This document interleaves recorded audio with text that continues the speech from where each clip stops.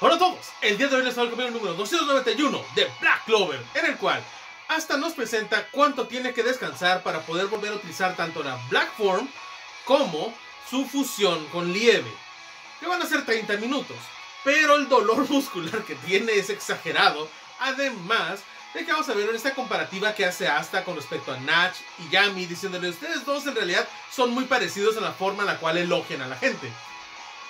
He visto demasiado gente ahí para saber que eso que está haciendo Natch podría ir en cualquier otro manga.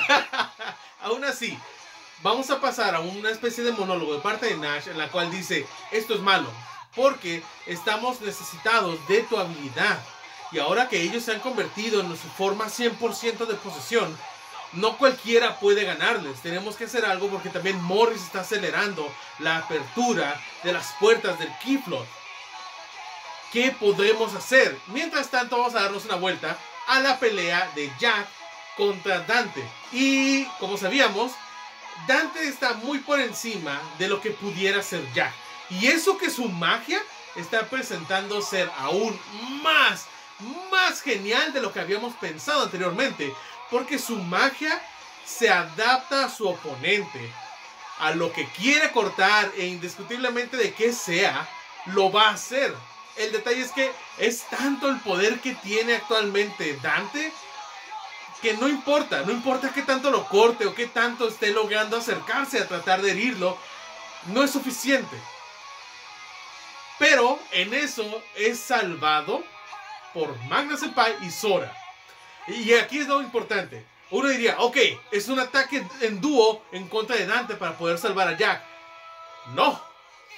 Es una pelea de nada más. Él dice, yo me voy a encargar de vencerte a ti. Por favor, me estás insultando. Soy Dante, aquel que tiene la posesión con Lucifer. Alguien tan mísero como tú, con ese poder de magia, no puede siquiera ponerse enfrente de mí. Yo lo voy a hacer. Y vemos un poco del flashback de cómo entrenó él. Porque dice, sí, a diferencia de los demás, sí soy débil si no tengo tanta virtud con la magia y tengo que encontrar una forma única, propia para poder hacer este avance y no quedarme atrás con los demás. Y en eso que encontró, saca una bola de fuego, la lanza, golpea a Dante, no le pasa nada, pero su posesión demoníaca llega a la mitad. ¿Qué pasó? Y inmediatamente ve que tiene un círculo mágico y una cadena atorado a él. Tú, tú dices, lo primero que piensas es, era un ataque combinado de Sora que no había mencionado en este caso Magna para poder agarrar desprevenido a Dante. No, es aún mejor porque esa cadena también aparece del lado de Magna y le dice, esta es una pelea a muerte entre tú y yo. Esta pelea a muerte con cadenas que obviamente aquí voy a hacer la, típica que se tiene que hacer es pelea muerte con cuchillos. ¿Qué? ¿Pelea muerte con cuchillos? Creo que escuché que iba a ser pelea muerte con cuchillos. Me pregunto cómo harán esta pelea muerte con cuchillos. Es más o menos lo mismo porque dividió el poder mágico de los dos en partes iguales. Y van a darse hasta morir. Está súper genial esto porque inmediatamente pierde la forma del 100% de posesión y en teoría únicamente incrementó el poder de Magna para poder pelear a, ese, a ese estándar. Ahora, el hecho de que dijera pelea a muerte es lo peligroso, porque suponiendo que venza a Dante, que bien puede ser, aún quedaría el problema de otros dos. Y Magna Senpai estaría en un punto privilegiado en el cual su magia lo pone al nivel de muchos otros magos con esta nueva habilidad.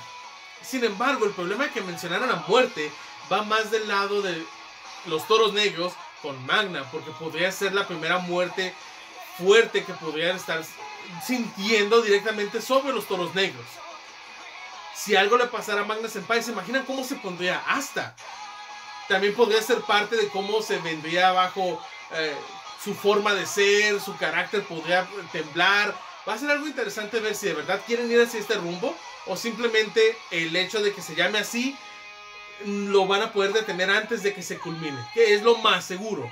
Aún así, vamos a ver a dónde nos quiere llevar esto, porque si es una pelea a muerte con cuchillos, digo, con cadenas.